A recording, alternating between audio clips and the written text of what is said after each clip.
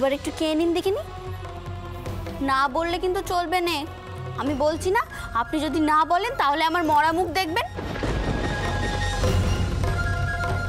কি হলো? নিন।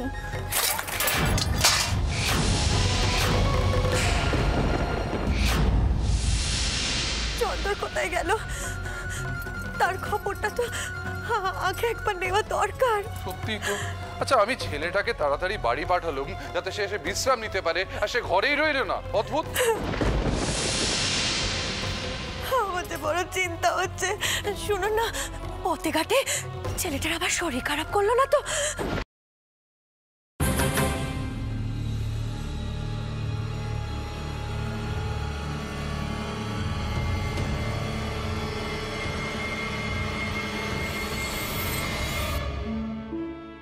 এরপরও তো সন্দেহ আছে, বউ? এই সুযোগ। জনার্দনের সামনে ছোট টাউজিকে চেপে ধরি। ঠাকুরের সামনে মিছে কথা কইতে পারবে না। না দিদি, সে বড় নজ্জার হবে ছোট টাউটির জন্যে। টাউটি টাউর জামাইকে কত যত্নার্থী করে, কত অপমান সহ্য করে। তুমি দেখনি? যা করার আমি নিজে করব। তিনি ফিরলে আমি তেনাকে রঘুবীরের সামনে নিয়ে আসবোই আসব। নতুন বউ? ও নতুন বউ। ছোট কর্তা ফিরে এসেছেন। তিনি অন্দরে খবর পাঠিয়েছেন আজ তিনি বৈঠকখানার ঘরেই কাজকর্ম করবেন। আজ আর তিনি অন্দরে আসবেন না। আচ্ছা তুই যা।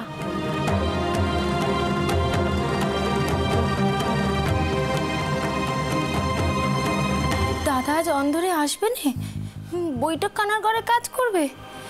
কিন্তু সারা রাত ধরে কাজ করলে তো শরীর আরও খারাপ করবে। আচ্ছা তোমরা ভেবো নে। আমি যাচ্ছি দেখে আসছি দাদা শরীর কেমন আছে হ্যাঁ? থাক ছোট ঠাকুরজি তোমাকে আর কষ্ট করে যেতে হবে না। আমি যাচ্ছি। আসলে তোমার বড় দাদা চলে যাওয়ার পর মা ঠাকুরপোর সব দায়িত্ব আমার হাতে তুলে দিয়েছিলেন তাই তাকে দেখে শুনে রাখার ভার আমার। সে তো আমি জানি তাই তো? তাই?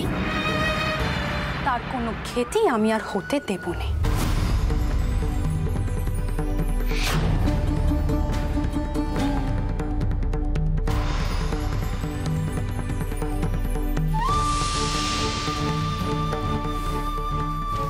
চল ছোট। তুমি কোথাও যাব না তুমি যাও দিদি। তিনি বৈঠক কানায় থেকে কষ্ট পাবেন তা আমি দেখতে পারব না আমি একে নিয়ে হতে দিয়ে পড়ে থাকব। রঘুবীর আমার ডাকে সাড়া দেন কিনা?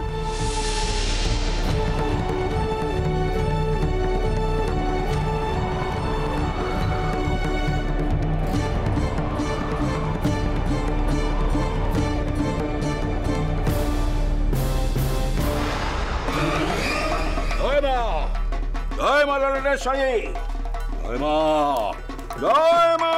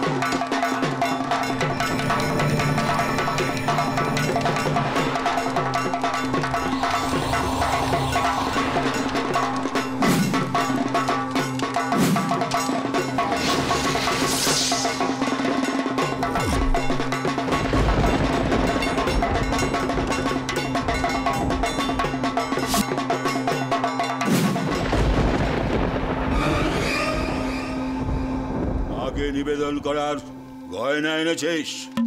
হ্যাঁ বাবা এনেছি। যা মায়ের চরণে রেখে আয়।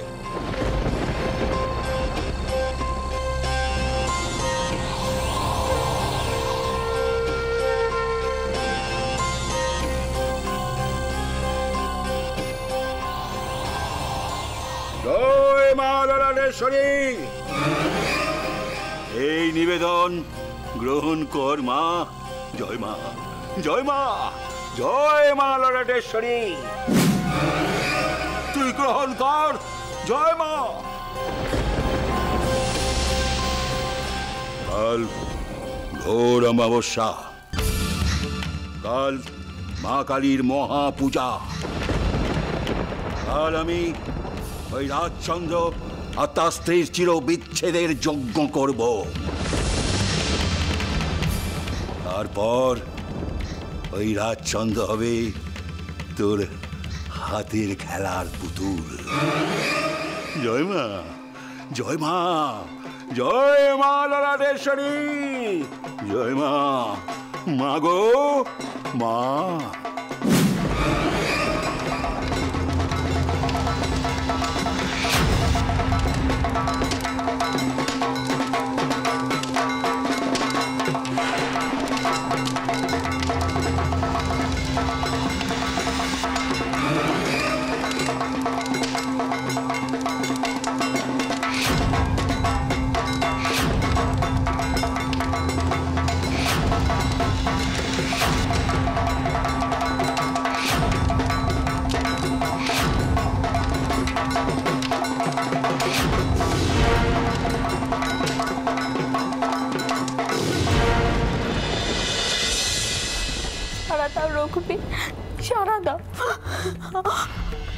যতক্ষণ না তুমি সাড়া দেবে, আমি কোথাও নড়বো না। আমি এখানেই বসে থাকব। কখন থেকে আমি তোমার সারা পেতে চাইছি? তুমি আমারটা কি সারাই দিচ্ছ রে রঘুবীর। কেন রঘুবীর, কেন? এমন বিপদের দিনে তুমি তুমি চুপ করে থাকবে। অন্য দিন তো তুমি ইশারা দাও, আজ তো তাও দিচ্ছ না। বেশ তুমি আমারটাকে সারা না দিলে আমি এখান থেকে কোথাও যাব না জলস্পর্শ করব না সারা দাও রঘুবীর সারা দাও তুমি।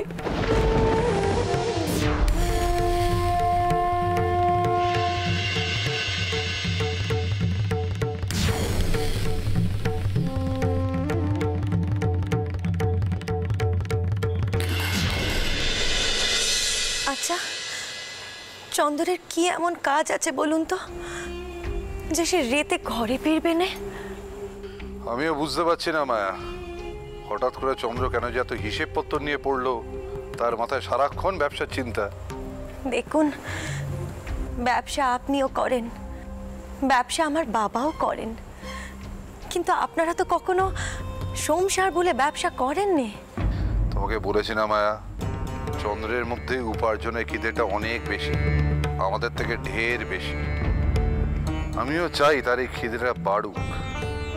কিন্তু আমার কিন্তু অন্য কিছু মনে হচ্ছে। জানেন, ছোট বৌমা দেখলুম টাউর ঘরে বসে আছে তখন থেকে। কেন এমন করে বসে আছে কিচ্ছুটি বললে নে। বড় বৌমা বললে, ছোট বৌমার নাকি মন ভালো নেই। আমার তো মনে হয় বড় বৌমা নিশ্চয়ই কিছু জানে। সে আমার থেকে কিছু করছে। আচ্ছা চন্দরের সাথে ছোট বৌমার কিছু হলো না তো? আপনি একবার চন্দরের সঙ্গে কথা বলুন না।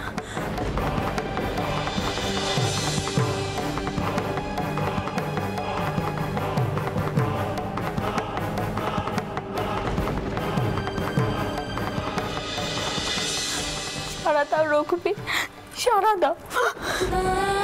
কখন থেকে আমি তোমার সারা পেতে চাইছি? তুমি আমারটা কি সারাই দিচ্ছ রে রঘুবীর? কেন রঘুবীর, কেন? এমন বিপদের দিনে তুমি তুমি চুপ করে থাকবে। অন্য দিন তো তুমি ইশারা দাও, আজ তো তাও দিচ্ছ না।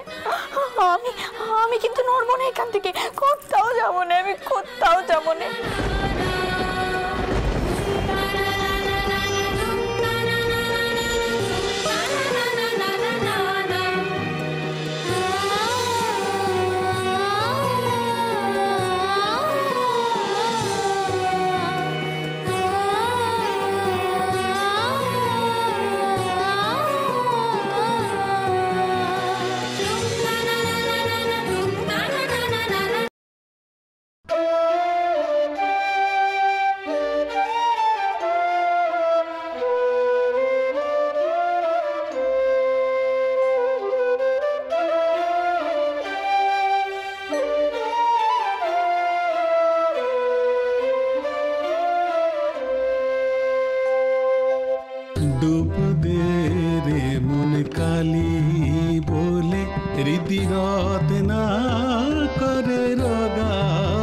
জলে ডুব দে রে মন কালি বলে, হৃদি রতনা করে রগাদ জলে ডুব দে রে মন কালি।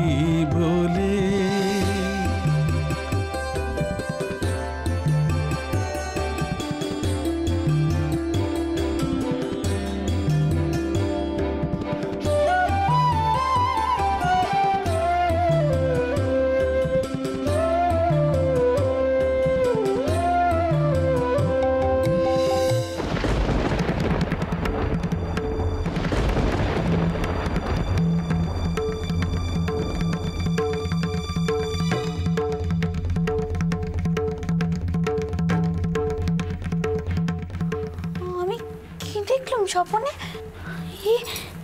ইনি কোন কালী সাধক?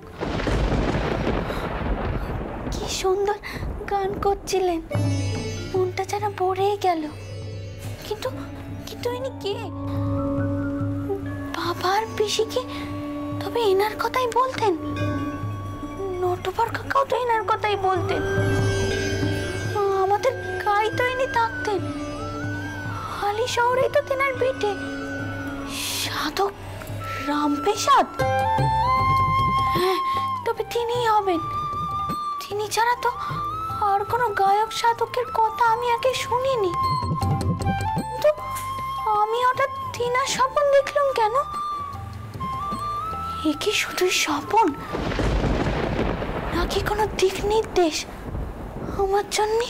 রত্নাকর নয় শূন্য কখন চার ডুবে ধন না পেলে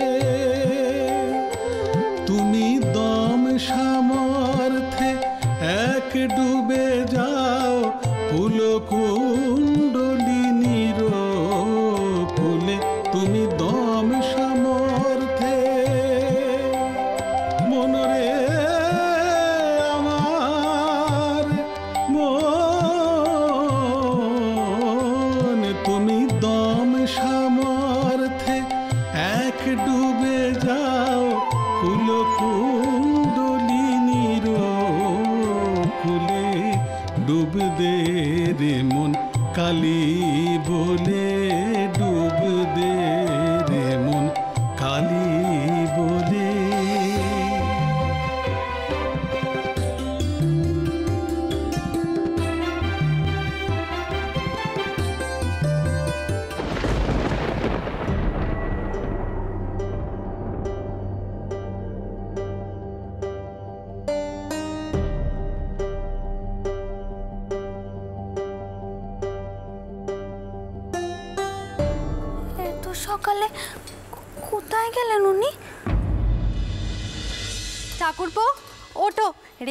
উঠে তোমার জন্য চা, জল, খাবার করেছি। খেয়ে নাও।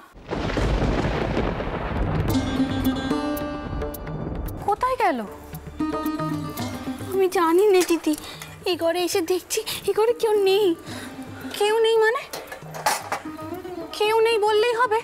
আমি কাল রেতে এসে দেখেছিলাম, হিসেব নিকেশ করছে। এই তো এই তো খাতাপত্র রাখা রয়েছে।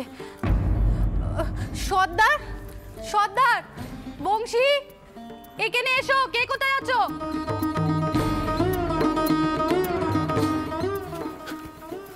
প্রণাম। মা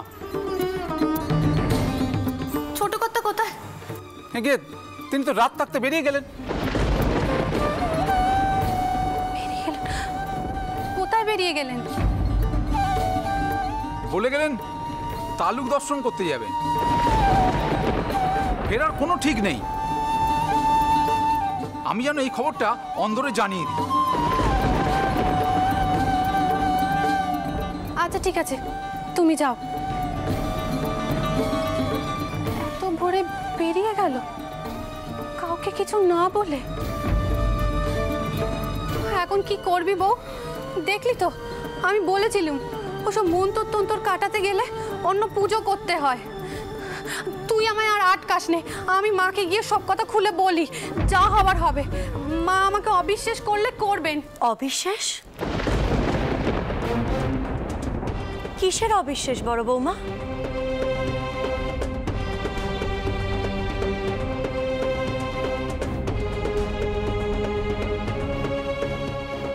কি হয়েছে? আমি তো কিচ্ছু বুঝতে পারছি না। কি হয়েছে বলো তো আমাকে? বলো কি হয়েছে? চন্দর চন্দর কোথায়? চন্দর? ও, বুঝতে পেরেছি। চন্দরকে নিশ্চয় তোমরা ঘরে পাঠিয়েছো বিশ্রাম নেওয়ার জন্য। সারা রাত ছেলেটা আমার জেগে জেগে কাজ করেছে। তা একদিকে ভালোই করেছ তোমরা। এখন বরং একটু ঘুমোক। কিন্তু অবিশ্বাসের কথা কি বলছিলে তোমরা?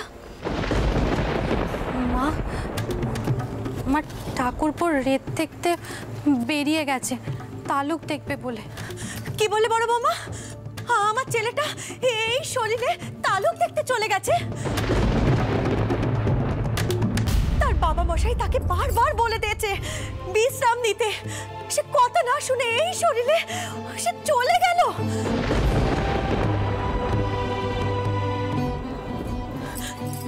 ছোট বৌমা ছোট বৌমা, কি হয়েছে? আমাকে সত্যি করে বলো তো, মা। কোনো কারণে চন্দর কি তোমার উপর অসন্তুষ্ট হয়েছে? কি হয়েছে, ছোট বৌমা? বলো। মা মা, ওদের দুজনের মধ্যে কিছু হয়নি। আমার ঠাকুরপো বলছিল তার কাজের চাপ বেড়েছে। ব্যবসার কাজ, জমিদারির কাজ সব একসঙ্গে দেখতে হচ্ছে কিনে। আর কাল দেখলুম, তার শরীরেও তেমন জুত নেই। বড় বৌমা।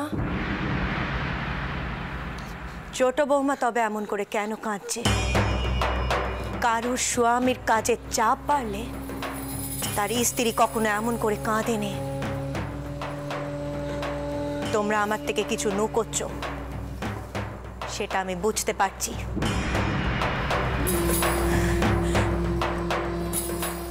শোনো বৌমারা, আমি তো তোমাদের মা হই। আমার কাছে কিচ্ছুটি নুকিও না। আমাকে সবকিছু খুলে বলো কি হয়েছে। আমার চন্দর যদি কোনো অন্যায় করে থাকে, তবে সে পার পাবে না। আমি তাকে ছেড়ে কথা কইব নে। আমি নিজে চন্দরের সঙ্গে কথা কইব। বলো কি হয়েছে? আমার চন্দর কি করেছে? বলো বলো কি করেছে আমার চন্দর? বলো না। মা আমার ঠাকুরপোর কোনো দোষ নেই। আপনি বিশ্বাস করুন ঠাকুরপোর মেজাজ অন্য কারণে কঠিন হয়ে রয়েছে। না মা তিনি হলেন দেবতার মতো মানুষ। তিনি কিচ্ছুটি বলেননি। সব দোষ আমি করেছি। কাল রাতে কান্ত হয়ে ঘরে ফিরেছিলেন।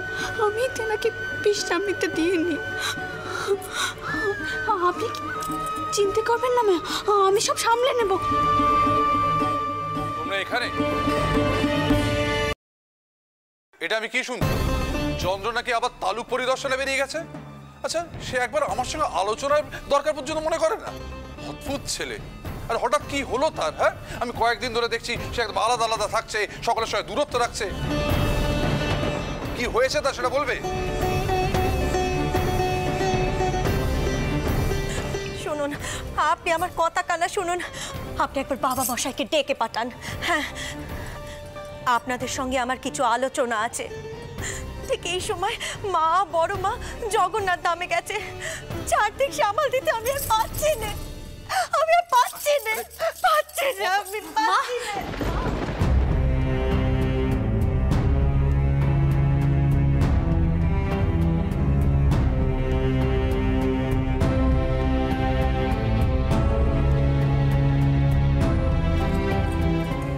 মা উঠো মা আমি তোমাকে আর কি আশীর্বাদ করব মা?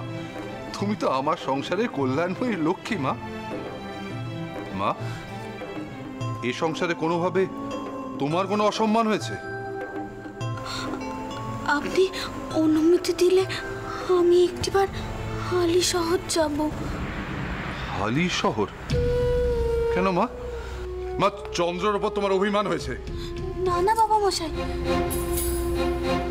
আজ ব্রাহ্ম মুহূর্তে আমি একখানা স্বপন দেখেছি। আমাকে যে সেখানে যেতেই হবে। স্বপ্ন দেখেছ? কি স্বপ্ন?